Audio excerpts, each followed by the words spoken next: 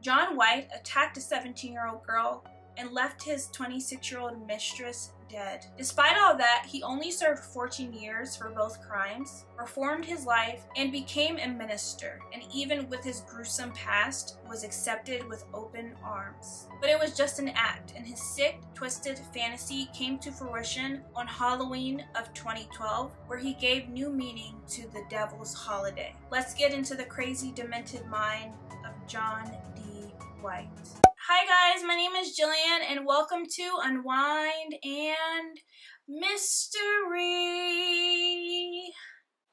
Yeah, where you unwind and chill out with me as I talk about a true crime case. If you guys have seen any of my videos, you know in every video I use a face mask Today, that is not going to be the case. This is my second time recording this video. The first video, I used a paper mask and it had acid in it for acne. I have a little bit of acne. I don't think my acne is strong enough for that mask and it burnt my face up. I don't think my face can handle another mask, so for now I'm just going to use some eye masks. And they're just moisturizing hydrogel eye masks.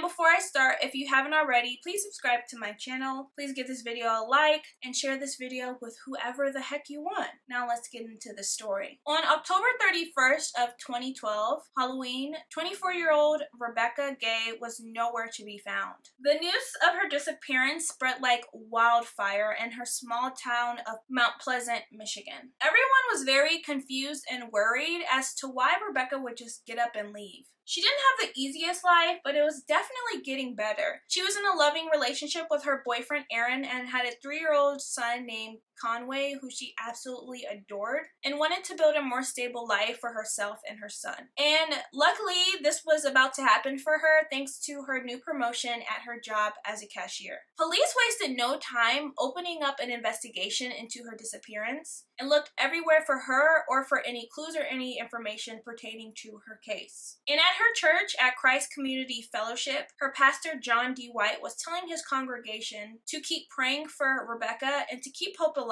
that she will return home sooner than later. But John wasn't this great child of God like he portrayed himself at church. He was a very dark individual. When he was younger, he enrolled in the Navy, and after leaving, he became a truck driver. He had since married and was living in Battle Creek, Michigan when he was 22 years old. He had a neighbor who was five years younger than him, 17 year old Teresa Etherton. One day in 1980, he invited Teresa over to his house to look at his racetrack, but he had ulterior motives. He led her down to his basement, and when he saw his opportunity, he took it and attacked her. He choked Teresa and stabbed her multiple times, 15 times to be exact. He thought and intended to leave her for dead, but luckily she survived this maniac's attack and went straight to police. She said that when John attacked her, he was smiling. He held her hand and kissed her on her lips and told her, You're going to go now. I'm really sorry you had to go like this, but WTF, you're just a woman. I'm not really sure what that means, but okay, you creep. John pleaded no contest the following year and received 10 years in jail for this, which was great, but he appealed this saying his attorney didn't give him an insanity defense. And unfortunately, at this time, his attorney was no longer alive to make any comments on this, but it is assumed that the reason he didn't do an insanity plea was because if he did, John probably would have gotten off. He also said he had partial amnesia and he was able to successfully appeal his sentence after serving just two years for this, and he was given two years probation. Teresa was upset. She felt abandoned by the police and the courts, and obviously she was scared that the guy who tried to murder her was now out and a free man. After his appeal, John didn't stop there. This was just the beginning of his evil wrath. So we know John was married. He also had a son, and his wife was pregnant with their second child. He was working at a textile company doing maintenance when he met 26 year old Vicky Sue Wall in 1994. The two started having an affair together and would often sneak around. In July of 1994 at 3 a.m., John picked Vicky up at a grocery store parking lot. I'm not sure why they were at a grocery store parking lot at 3 a.m., but I digress. This was the last time anyone had seen or heard from Vicky, so of course they bring in John for questioning. At first, he told police he knew nothing about nothing, but when they told John they actually had surveillance footage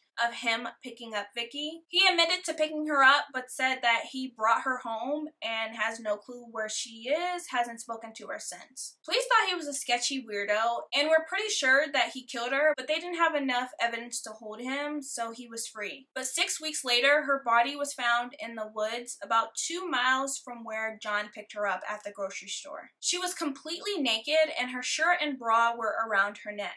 But unfortunately, since so much time had passed since her murder and she was in the woods with wild animals, her body had already decomposed and it was impossible for police to say what her cause of death was. So police think back to the weird conversation they had with John and search his car. They didn't find much there. John had cleaned his car pretty good, but they were able to find a blood spatter by using a chemical called luminol, and that was enough for them. They brought John in and find out that he actually attempted to take his life with a mixture of pills and alcohol and told detectives that he had blackouts and he thinks he does really bad things when he's blacked out. They didn't know why he did what he did, but figured it was so he could keep their affair his dirty little secret. And of course, his nasty little deceitful self said that even though he killed her, it wasn't on purpose. He was so in love with her, so he would never have done something like that on purpose. He then refused to take a lie detector test and stopped talking to detectives about this in general. He got 8 to 15 years for pleading guilty to involuntary manslaughter. John was paired with a psychologist while serving his sentence, and he told them that he had a very deranged fantasy of killing women and having sex with their dead bodies. Disgusting. But 12 years had passed, and John had now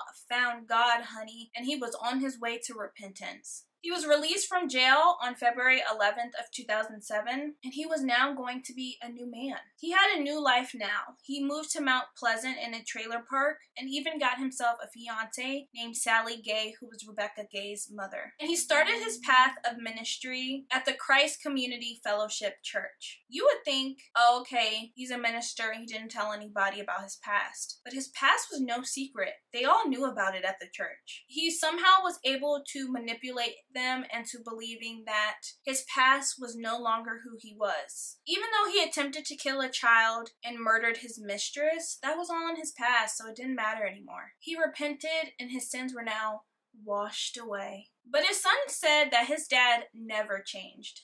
He knew he wasn't all there mentally, he admitted it, but he never wanted to talk about it anymore and never sought help for this. But his little holy act could not and did not last long. And his dark fantasy, he told the psychologist about all those years later, started to manifest again. And that's all he could think about just five years after being released from prison. On Halloween morning of 2012, John got very, very drunk and decided to pay his fiance's daughter, Rebecca, a visit at 2 a.m. She was home with her son and was definitely not expecting any guest. But she was used to John. John was her mom's fiance. He would often watch her son. So even though it's very strange for him coming in her house at 2 a.m., it's not like he was a stranger. John goes into her trailer and brutally attacks her with the mallet, knocking her unconscious. He put a zip tie around her neck and choked her to death. He then drove a mile away and dumped her body into the woods. And after this, he watched her son Conway, put him in his Halloween costume, and dropped him off at his dad's house to celebrate the holiday. Rebecca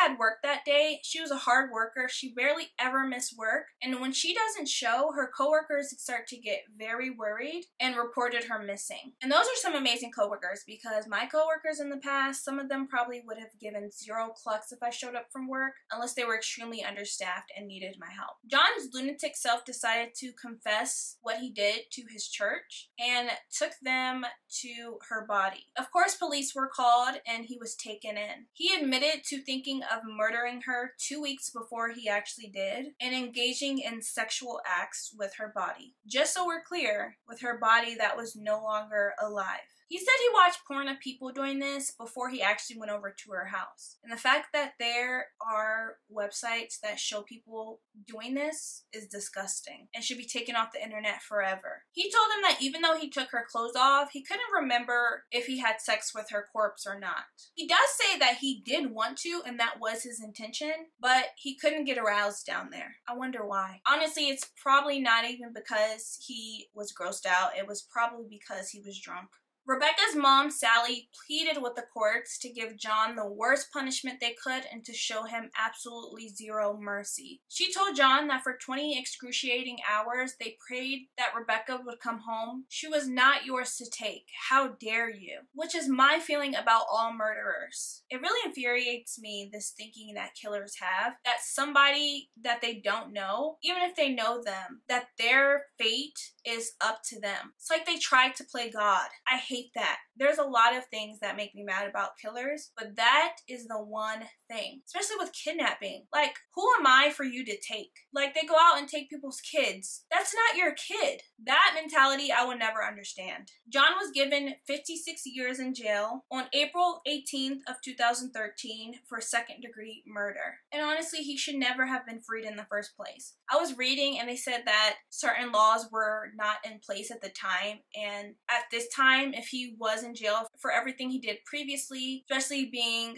a multiple offender, he definitely would not have been let out. So I guess that's some positivity. But with the others women's lives he took, he did the same thing with his own 10 days later. In just 10 days into his sentencing, he hung himself in his cell on August 28th of 2013. And he was found at 4:38 a.m. And I bet he repented for his sins right before he hung himself too. But that is the story of John White and the murder of two innocent victims. This story was a little shorter than my usual, but I hope you guys found some enjoyment of hearing me talk about this sick, demented man. I feel like I say that about everybody I talk about. If you made it to the end, thank you so much for staying. Please make sure you subscribe to my channel. Leave me a comment telling me what you thought about this case. Please like this video and share it with whoever you want. And I will see you guys later this week. Toodles!